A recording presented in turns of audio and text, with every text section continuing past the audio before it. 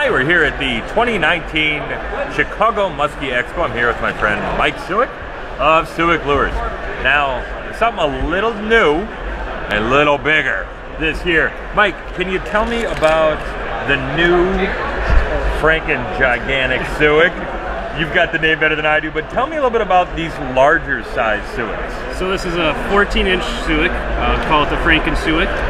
Um, a little bit different than our traditional 9, 10, and 12 inch models. It's uh, got an adjustable weight system on it, so you can weight it down, run it to different depths. You can even weight it to uh, neutral if you want. Okay. Now, how heavy is it just as without changing the weights around out of the box?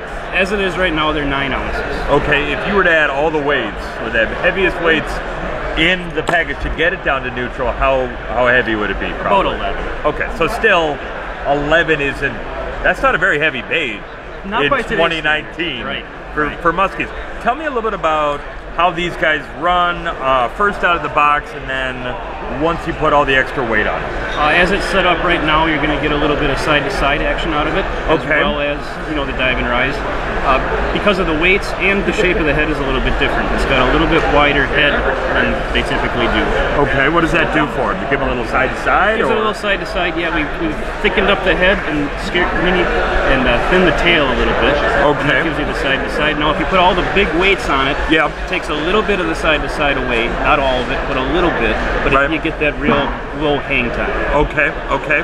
And about how deep, with all the weight it, about how deep when you want it to hang will it go, do you think? Just give me a rough guess. About five to six feet. Okay, so it's still down there and it's hanging. Yeah, right. All right, well, right. Where are these guys going to be available? Obviously at the show, but yep. are they going to be in all retailers soon?